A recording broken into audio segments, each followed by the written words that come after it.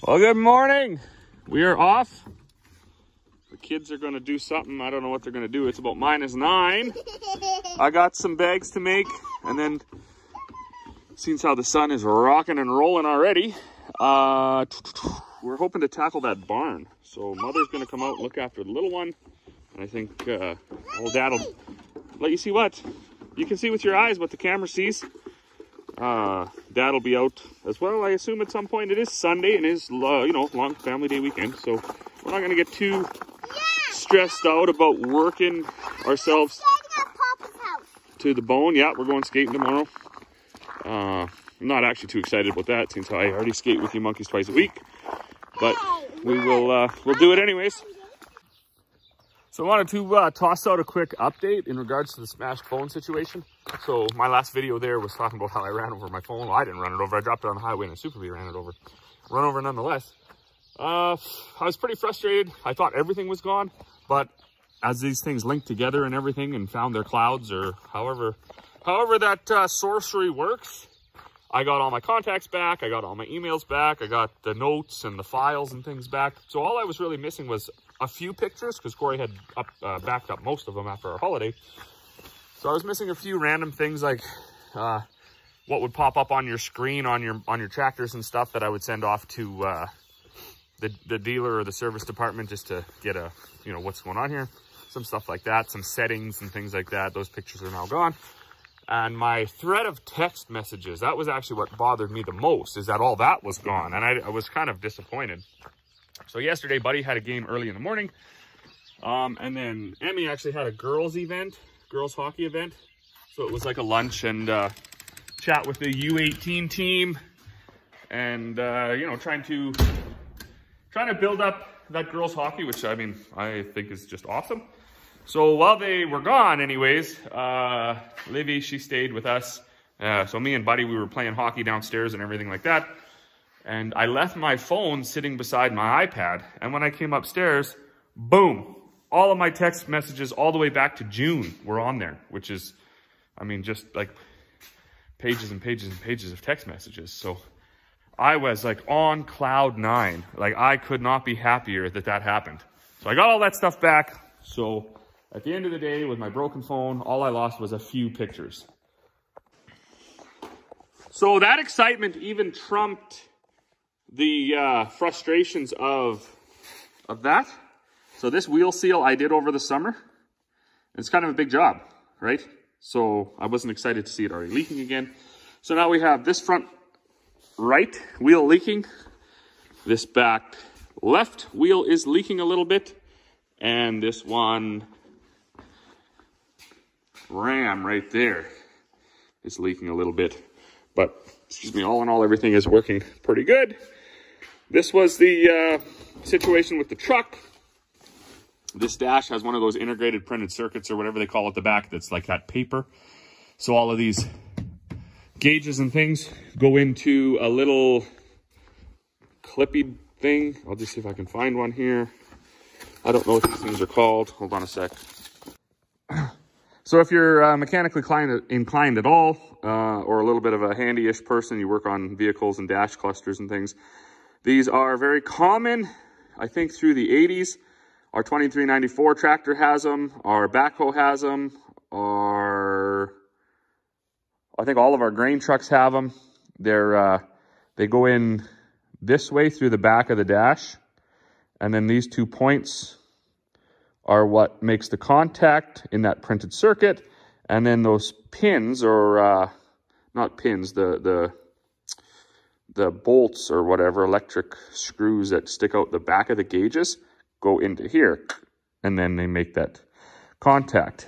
So I had bought some extra ones of these because they had on our back one stuff, they had corroded off. And I had actually from, I forget the name of the company, but I had, uh, I bought a little baggie of these because they're like a buck a piece. And uh, I thought that was going to solve all my all my dash problems across all my machines, which it didn't. So now I have a little baggie of those. But uh, there was a place in the States where you can actually order up that printed circuit. So when I pulled this dash out and I looked at the back, you can see the way, you know, I think it must be copper in there or whatever, runs and where, and where it runs to. So where the, the, the power supply copper piece runs from here to here to here, and then the negative runs from here to here to somewhere. But the sender one, you can see that it goes just to this gauge and stops. And we could actually see in that printed circuit, because it's see-through, that that copper had blown up or whatever. It was it was gone. So we pulled that little pin, that or that little clamp that I just showed, I, we pulled it out of the dash, and we just ran a wire directly to that post. And now, you can see when I flicked it on and gave it power, it dropped right off to cool and when we had the truck running yesterday, it heated up to about 170. And I think that thermostat was set to 170, 180. So we're calling it a win. We're going to take this, uh, Dad was going to install this one. This is just a, like a, you know, accessory remote coolant gauge. We're going to take that out and uh, leave it on the shelf, I guess. Might put it in here because this coolant sensor gauge works intermittently. And I have a feeling one of the problems could be when I was researching coolant senders, you are not supposed to put Teflon tape on there because that's how it grounds out, right? Because it's only a single wire. So I might, I can see that whoever took this apart put Teflon tape there. Not knocking them, I would have done it too had I not read that on the internet. Oh, but I think that could be uh, that could be a problem, right? That could be one of the problems why I'm only having intermittent success with that. Of course, we check the oil and the coolant and stuff in it every day. And an engine like this, where I'm getting in and out so many times a day, you would see if it was overheating. So not too concerned about it. But it is nice when things work. So first things first, I'm going to make a couple of bags. Uh, like I said, I'm feeling pretty good. I got all my text messages back. Everybody's healthy for once. We're on like a two-week stretch here of being healthy. Nobody's sick, nobody's coughing, nobody's puking, nobody's dying. Mom and dad are doing well. Everybody's, uh, everything's good. So we'll make up some bags and we'll see if it warms up enough to go and put some tin on that barn. see, that has to be documented too. And I'm pretty sure it's just because I was talking about it. I fired this up and look at that. The temperature gauge is working right off the bat. Now I expect at some point today it's gonna go bam, full, full red, and then it'll have a little blinking light up here. But then that's, you know, throughout the day it works on and off. This morning already it's working, so maybe it thought if it didn't work it was gonna get dissected a little bit. I think around here machines know that uh, they would rather be working than being uh, operated on, which I am a big fan of that. So hopefully, hopefully it fixed itself and we don't have to. Huh, okay, well, we've uh, we've quieted down on the on the feed side for the day. We picked up some noise on the molasses side. This little pump here, for anybody that watches this and wonders about molasses or anything like that, that's uh, a PTO driven pump. It's supposed to go on a sprayer. We, uh, wow, that quad is really smoking. I think she's on her last legs. Look at that anyways, it was sitting around here. I'm not sure. We never had a sprayer that took that kind of a pump, so I don't actually know where it come from. But uh, I rigged it up on this electric motor originally to fill, well, to fill totes, and it was just way too slow. But now to fill barrels or to treat my own bales when I bring them down here, it's a little more manageable than this two-inch hose and a two-inch pump, which also works good for filling totes and things. But I always got to thinking if a guy wanted to use molasses in his operation and he was going to treat, you know, several hundred bales throughout the winter, it would be wor worthwhile getting a little pump like that. They're fairly cheap. Uh, you could tie right into your tote with a cam lock or whatever. And there you go. You could use a PTO of your tractor to pump that molasses out. Oh, well, good afternoon. So it's two o'clock. We are breaking for lunch. I'm pretty, uh, pretty pumped with the amount of work we got done on the barn so far. We are in no way carpenters. We're not uh, we're not mechanics. We're not uh, builders. We're not really not even handy men or handy people, right? We're uh, just farmers. So I'm pretty pumped at how that all turned out. We got the front done. We got the south side done. The north side was the Hollywood side that we had finished originally. So all we got left is the south side. That's going to be a little bit tricky because there's some doors, bifold, or not bifold, uh, swing out doors. We got to cut the tin to fit those doors. Uh, and then that'll be that'll be that. We're gonna have that barn salvaged from the uh, the elements, if you will. So between the, the cows pushing on it and rubbing on it and the horses eating the plywood and uh, the weather beating away at it, being all exposed, it was probably on its uh, on its last few legs. So it either needed to be salvaged, tinned, or it needed to be ripped down. And uh, now we've got a pretty decent, pretty decent little barn out of it.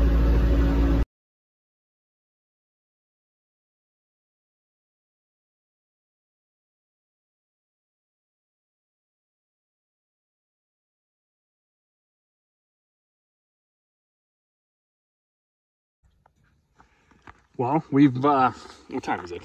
It's four o'clock. We did break for lunch. Then I had a load of bag and so on and so forth, but we did make it back. That north side is done. This front side is done. It's so funny when you see these old buildings. Lots of times, like they're actually, it's incredible how long they stand for being, you know, rough lumber and everything, but they're, they only ever appear to be straight. So you see this top line of screws and then it kind of had to go up but uh, anyways, it, we did get it. We do try to keep the screws lined up a little bit, but uh, didn't spend that much time with it. And then here we chipped away at the dirt, but you can see there was a bit of a bit of a step there yet. And then uh, this side is done. There was windows cut out, but we just went over them and we'll cut the windows out when we do decide to install windows. Almost these screws here look like they almost trend down, but that's because the way it is. And then those ones are missing there because that's what the window was. It would screw into nothing anyways. We got to the back side and kaboom, ran out of tin. So I guess the tin man didn't order enough tin. And uh, that'll be me. You can even see, so these are perfectly level, but you can see they're coming down. So the building wasn't, uh, I guess it wasn't 100% straight. And when you look that it's built with, you know, round posts, not square posts and stuff, you can assume that it's it's pretty good, but it's not 100%. So we, uh, Corey and I, actually even before we were married, well, we might have been married, I don't know, but we were living in town anyways. This was all panels, or all corrals, all of it. They used to, I think they had like a few hundred head of, uh, of feeders here. So there was like cross fences and corrals and all sorts of stuff up here. Gates, that's why these gates, they they just go to nowhere. Where's that gate? Somewhere over there, you can see it. Because it used to be just solid, solid, rough cut, untreated lumber. Water way up there, water here. This one I dug in the ground for the pigs. And then uh, more waters as you go down that all down there was just solid corrals. It was it was crazy. There was a loading chute here. There was a feed shed here, like a chop bin. There was uh, over there. There was the squeeze and and everything. That's what those bigger posts are for. But we ripped all that out, and uh, the snow load on this lean-to over here caused the roof to fall in.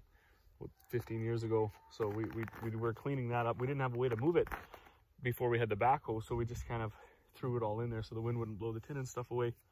Cleaned up all the wood, burnt it. burnt that uh, chop bin that was here. And then we, we didn't know what to do with the with those that lean-to over there, that lean-to over there, or this barn. And we did wanted to salvage some of this stuff.